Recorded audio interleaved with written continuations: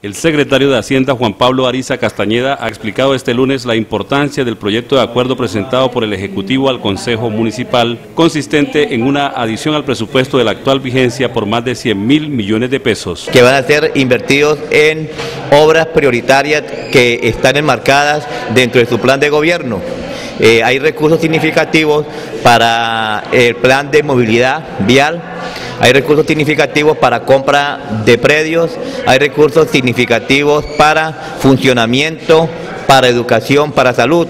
Todo tendientes a, mejorar un poco eh, los recursos necesarios para poder cumplir el plan de gobierno de Ciudad Futuro. De igual forma, el funcionario indicó que la corporación edilicia también debate el proyecto de acuerdo que exonera del pago de impuesto predial a los estratos 1 y 2 a partir del año 2013. Establecer las exenciones de no pago de impuesto predial para aquellas personas naturales eh, de estratos 1 y 2 cuya vivienda esté eh, valorada en menos de 30, de 30 millones de pesos. La concejal del partido de la U, Kelly Ortiz Calado, durante la sesión del Consejo en la tarde de este lunes, ha dicho que hay voluntad política para aprobar las dos iniciativas presentadas por el alcalde Elkin Bueno a la corporación edilicia. Realmente estamos empezando, pero yo sé que hay un ambiente muy positivo, un ambiente de darle trámite a estos proyectos de acuerdo, de estudiar y revisar si existe alguna falencia que necesita o requiere alguna modificación, pero nosotros estamos a mucha disposición de que avance porque ante todo esto va a beneficiar a nuestra comunidad y para eso es que estamos aquí.